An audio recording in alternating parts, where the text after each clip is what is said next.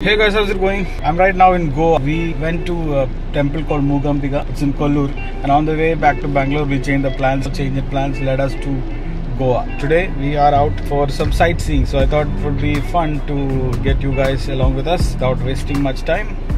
Let's dive in. So if I remember, it was back in 2005 when I was in college. I visited Goa for the first time.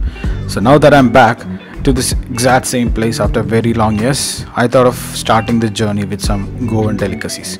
After searching internet for a while, we found this fat fish to be one of the best rated restaurants in Goa. So we headed there and found the restaurant to be very good ambience. The food here was also tasty. We ordered Goan thali to start with.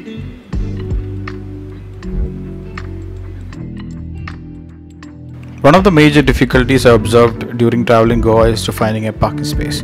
Lucky for us, this restaurant had enough parking space, so we don't had to worry.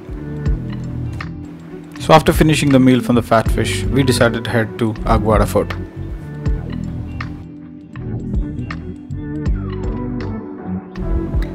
Aguada Fort was built by the Portuguese back in the 17th century. It was built to guard and defend the Portuguese stronghold in Goa against the Maratha and the Dutch invaders. Owing to its location at the confluence of the Arabian Sea and the Mandovi River, it became the most prized fortress for the Portuguese back in the 17th century.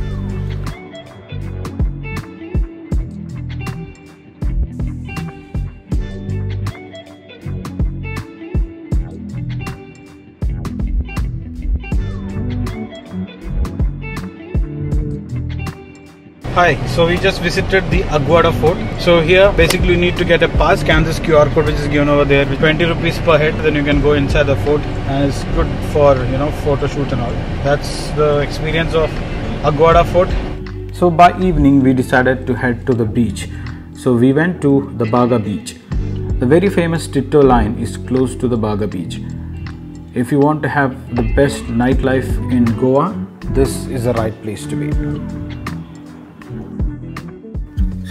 After having some fun time at the beach and enjoying all the nightlife in Goa, we decided to visit the Mollem area the very next day. Our next destination was Kadamba Sri Mahadeva temple. The thing which excited us to visit this temple was its location. It is located inside the Bhagwan Mahavir Sanctuary and the Mollem National Park.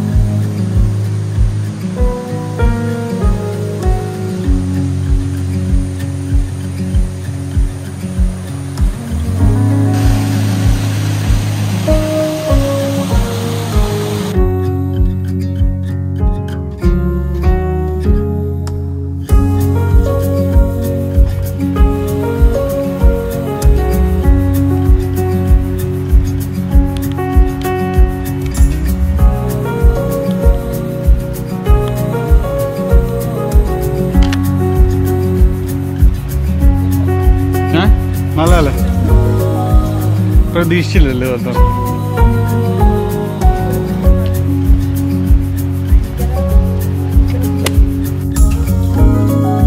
The temple was built in the Kadamba style from basalt, carried across the mountains from the Deccan Plateau, and carved by the craftsmen.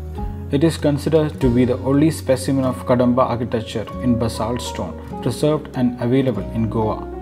The temple survived untouched due to its remote location and in a clearing deep in the forest at the foot of the Western Ghats, which is surrounding the site.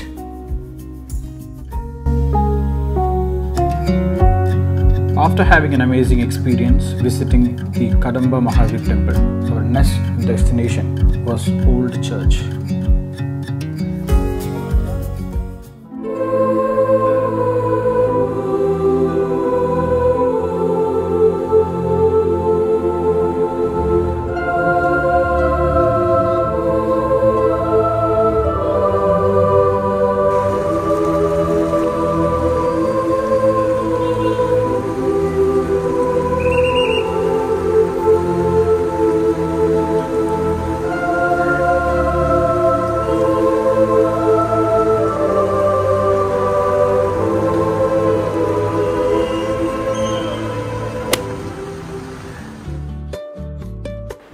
After a hectic day of travel, we unwind ourselves in one of the best cafes we have ever visited, the Black Sheep Bistro.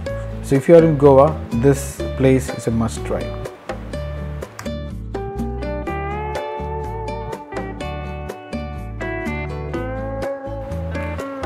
After visiting different locations in Goa for the past few days, we ended our beach visit with the one of the famous Anjuna beach. Goa has given us one of the memorable vacations this time.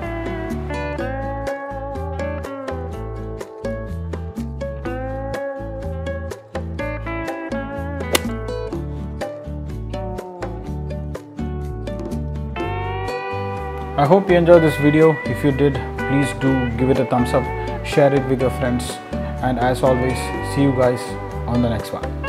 Peace.